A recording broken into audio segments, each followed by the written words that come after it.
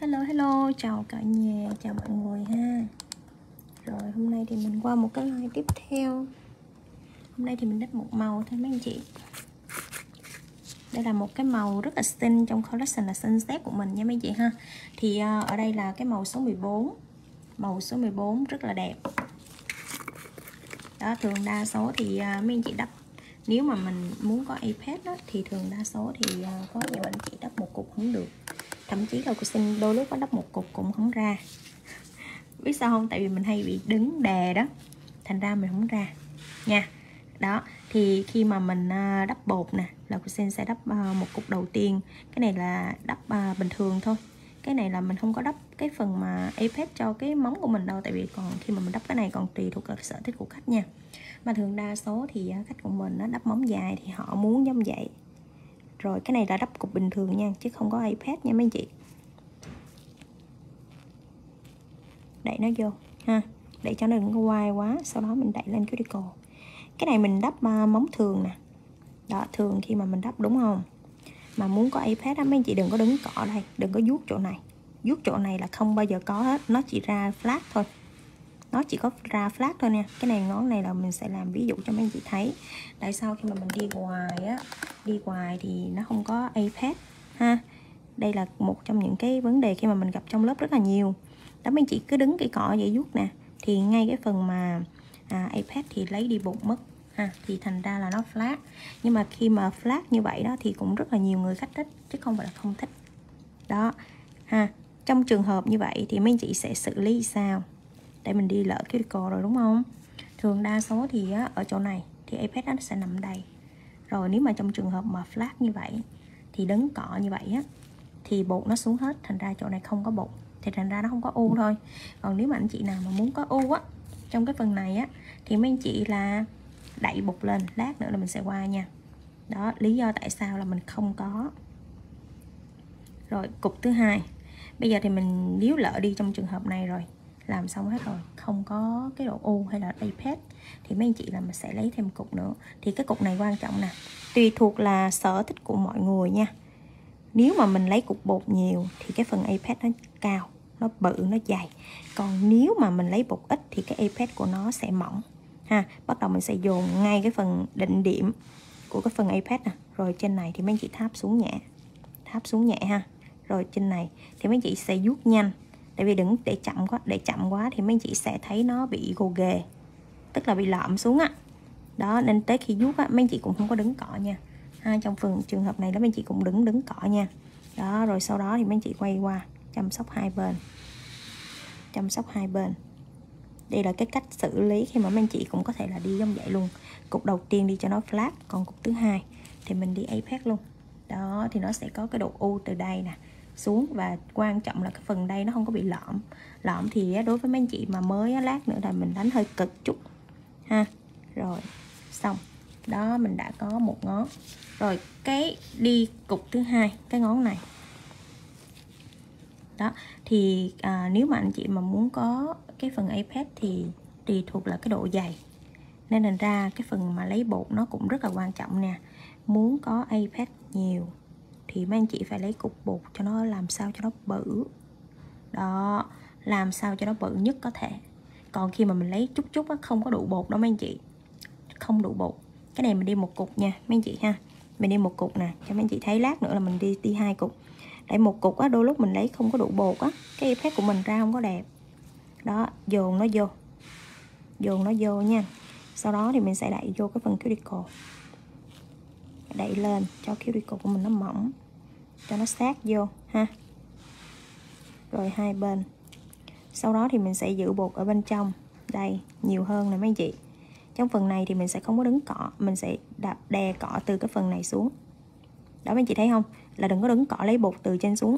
Mình lấy từ cái phần thân móng xuống á, thì như vậy chỗ kia, trên kia nó mới có đủ bột thì nó sẽ giúp cho mình tạo cái phần iPad, đúng không? Xong hết rồi. Bắt đầu mấy chị sẽ trở về cái cồn. Nó bị dính một cái hột đen đen gì đó. Rồi ôm hai bên vô. Chăm sóc hai bên.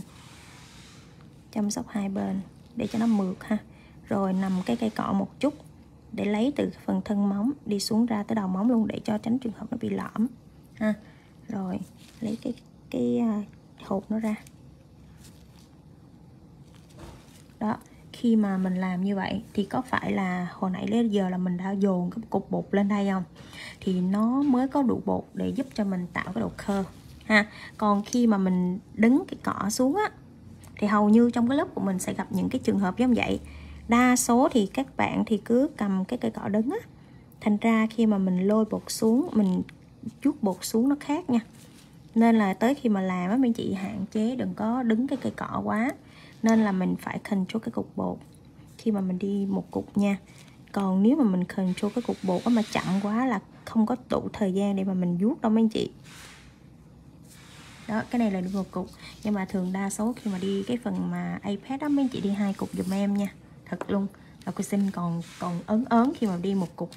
Lý do sao biết không? Tại móng dài quá móng ngắn thì không sao mà móng dài quá đôi lúc lấy không đủ bột thiếu chỗ này chỗ, chỗ kia đó. Thì thành ra mình không có đủ thời gian thì khi mà mình làm cái phần này phải sử dụng lý quịch chảy nữa. Đó để mà mình nó giữ cái bột được đúng không? Nên là mấy anh chị mà mới bắt đầu tập á là cô xin cũng giống như vậy đó. Đó tập hai cục ha, đi hai cục. Hai cục thì mình có hai cách có hai cách để đi nha. Rồi cái cục đầu tiên mình có thể đi 80 70 phần trăm. Đây là cái cách uh, cách này lát nữa mình đi lại cái cách hồi nãy lắm mấy anh chị thấy là cô xin đi cái ngón à, à, cái ngón kia không? Cái ngón út không? Đó cũng là một cách một trong những cách luôn nha. Rồi giữ bột ở bên trong nè giữ nè không? Dồn nó vô khi mà nó chạy và luôn luôn mình đẩy vô cái chỗ phần thân chính giữa nhiều hơn. Để cho nó có cái độ ô quá đừng có bị mất bột quá. Rồi mình để cái cỏ này 50 trong 50 ngoài nè. Để biết sao không? Để hai bên nó có dài. Xong rồi đó để dồn bột vô phần chính giữa. Rồi mình mới bắt đầu mình đưa cái bột của mình xuống nè. Đưa bột xuống tới phần đầu móng luôn. Đó. Xong. Đó đây là cái cục đầu tiên ha. Thì nếu mà trong khoảng thời gian mình đắp á, trường hợp mà mình đi cái cục đầu tiên mà nó bị mỏng á, thì đừng lo mấy anh chị mình sẽ xử lý qua cục thứ hai luôn. Đây là cái kinh nghiệm thực tế thôi. Đó, kinh nghiệm mà trường hợp nhiều lắm anh chị. Phải thường xuyên làm mới thấy được. Rồi cục thứ hai nè. Thì cái cục thứ hai này ha, mình sẽ tùy thuộc là cái độ apex mà mấy anh chị muốn thì mình sẽ lấy cái cục bột tương ứng nha mấy anh chị. Đây, mình sẽ lấy cục bột vừa đi. Đó, vừa đủ cái bên kia thôi. Đó, lấy lên mấy anh chị chờ cho nó xe lại chút xíu ha. Nó giống vậy nè. Sau đó thì mấy anh chị mới đặt lên cái phần cuticle mình nhích bột xuống nè ha. Rồi, sau đó thì mình sẽ chăm sóc cái phần cuticle luôn mấy anh chị. Chăm sóc cuticle luôn. Hai bên, đẩy nó sát vô ha. Rồi, bắt đầu mình sẽ giữ bột ở bên trong đây.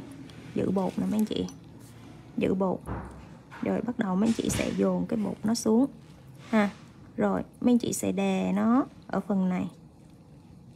Để cho nó mượt ngay cái chỗ mà đừng nối của hai màu luôn đó, khi mà mình làm khô á, là nó sẽ bị lõm ngay điểm này. Thành ra mấy chị vuốt á, mình hơi nằm cái cọ chút xíu nha. Đứng đứng quá đứng quá thì nó cũng không được. Đó, và khi mà mình đi cục này cũng vậy. Muốn cho nó mượt, cho nó mịn á, thì mình trong cái khoảng thời mình gian mình vuốt á, đừng khô quá. Khô quá rước vuốt ra nó không được. Đó, mấy chị thấy không? Nên thành ra cái phần mà apex này tùy thuộc là mấy chị lấy bột nha. Ha, của cái cục thứ hai nha. Nên là có nhiều cái trường hợp lắm. Rồi cục này mình đi lại nè đi lại theo cách này nè mấy anh chị. Còn cái phần mà iPad thì mấy anh chị điều chỉnh cái độ cao nha. Cái này là chỉ hướng dẫn cách thôi. Đó, thì mấy anh chị mà muốn dày hơn thì lấy bột hơn, nhiều hơn, muốn mỏng thì mình lấy mỏng hơn. Rồi cục này thì mình sẽ đi bình thường, mình đi từ cuticle nè. Hồi nãy cái kia cách nè, cái này cũng là một trong những cái cách thì mà mình đi nè mấy anh chị. Đó, lấy mỏng. Mình, cái ngón này thì mình đắp flat thôi không? Đi lại cái ngón út á, để để cho mấy anh chị dễ hình dung mình có nhiều cách làm đó, giữ bột ở bên trong ha. Đó, chăm sóc cuticle cho nó mỏng, bắt đầu đưa bột xuống. Cái này mình đi flat nè, cục thứ hai thì mình cũng đi y chang vậy luôn. Nhưng mà mình đi, mình đã, cái phần này, cục đầu tiên mình đã đi phần cuticle rồi.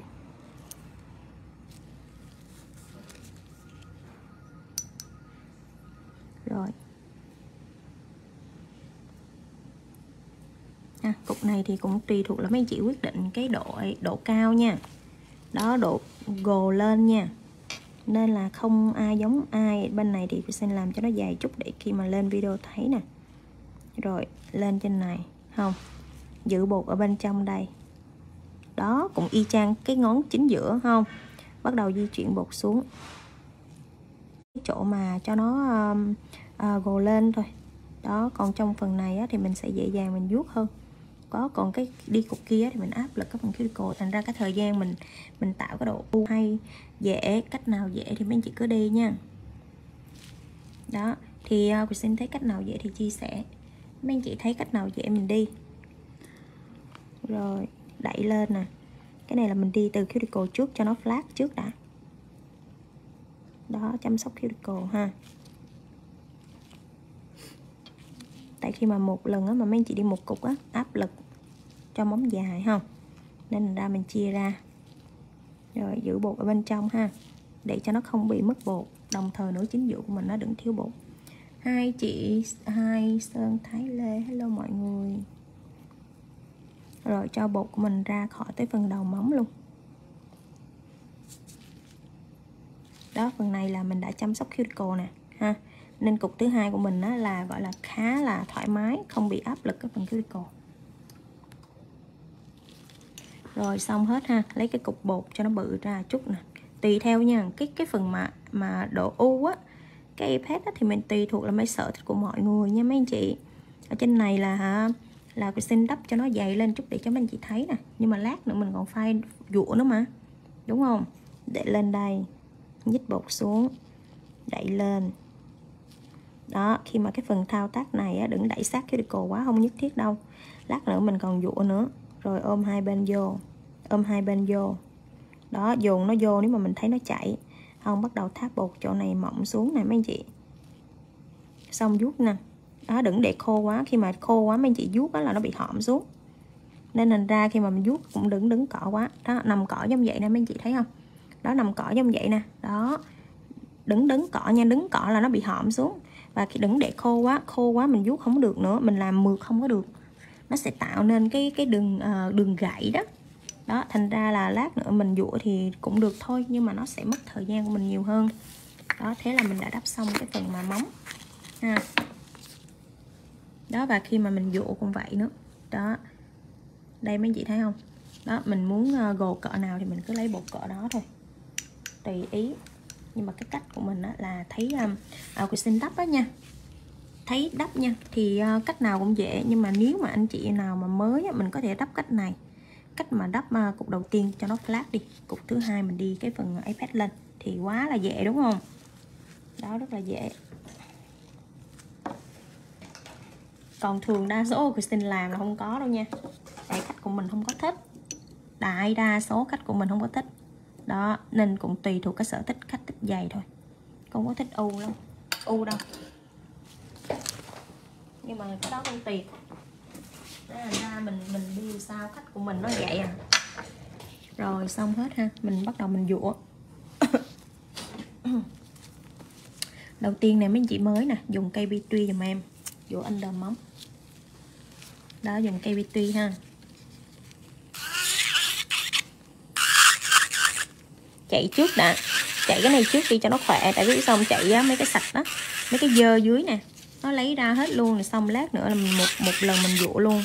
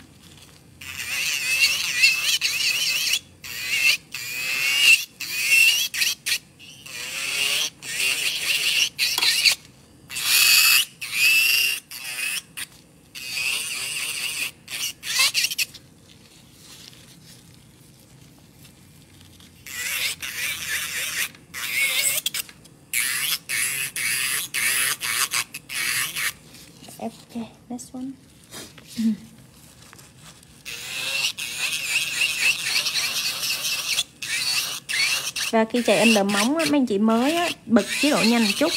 Nhưng mà phải phải phải giữ cái móng nha. Tại vì không có giữ móng á, tay khách nó bị rung đau lắm. Thành ra khi mà mình chạy under móng mà giống như cỡ này dày vậy nè mấy anh chị bật chế độ nhanh. Biết xong để cho nó ghì xuống nó kéo nó mướt. Còn khi đi từ từ á đây đi lâu lắm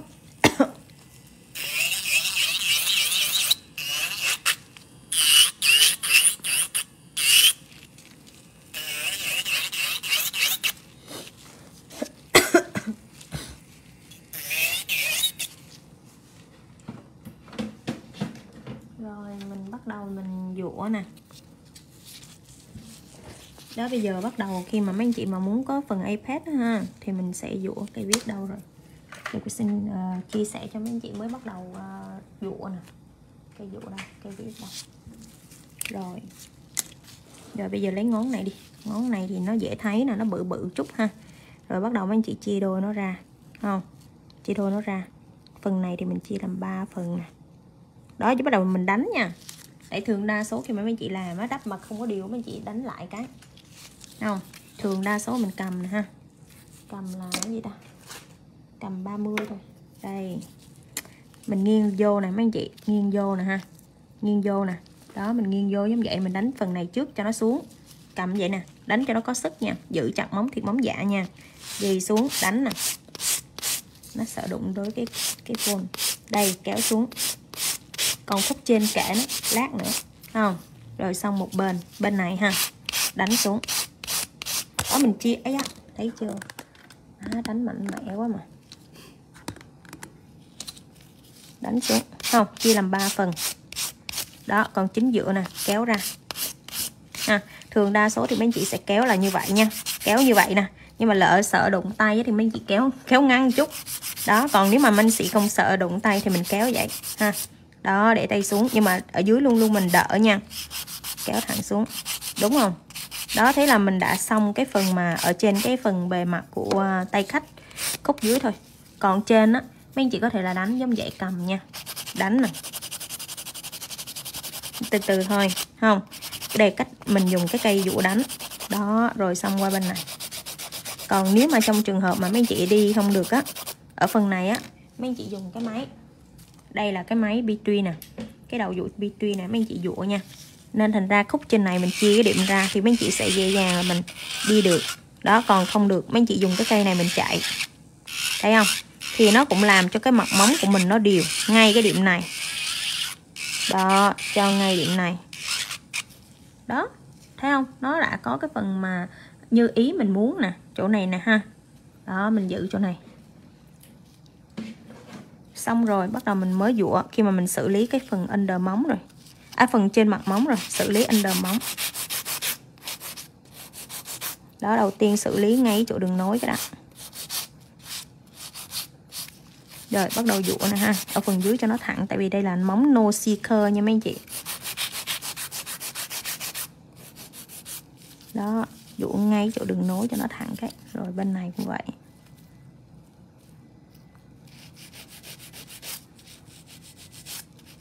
Đó dù từ từ vô thôi.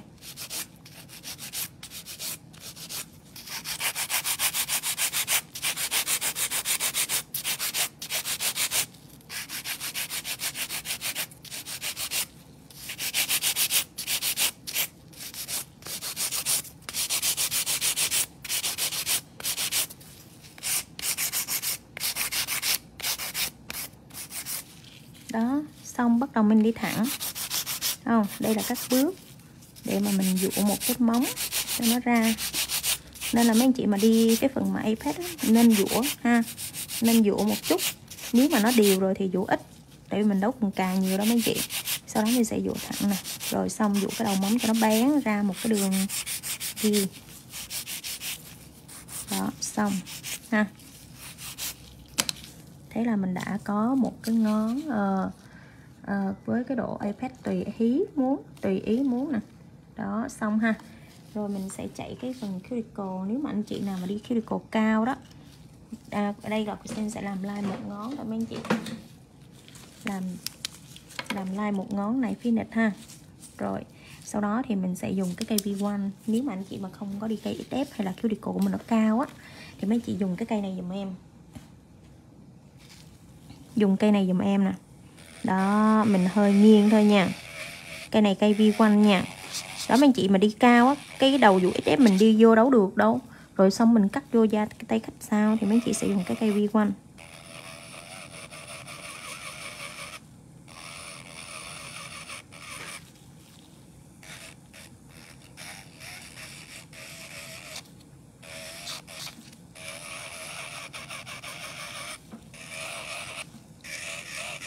đó ha rồi xong hết thì mình sẽ dùng cái cây XF nên tùy thuộc vào cái sở thích của mọi người đúng không?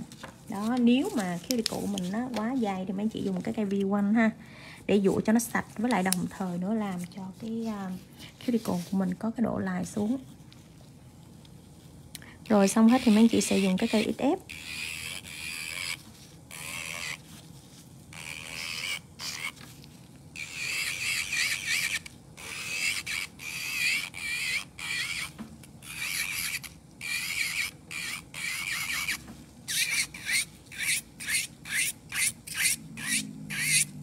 đó rồi chảy mặt móng thấy không cái đường vết xước của mình nè.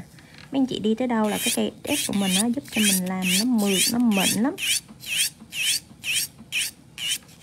Với lại thì mình cũng không có cần lấy bột nhiều không? Mình chỉ có làm mịn thôi mà.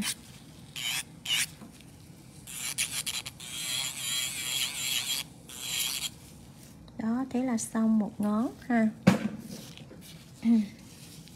Rồi thấy khác biệt đúng không khi mà mình dụ xong này mấy anh chị? À, nó có cái độ apex nè. Nó tùy thuộc là mấy chị sở thích nha. Rồi, ok, lộc xin bye bye mọi người nha. Và hẹn gặp anh chị trong những cái like tiếp theo của mình nha. Bye bye, chúc cả nhà nhiều sức khỏe và hẹn gặp lại.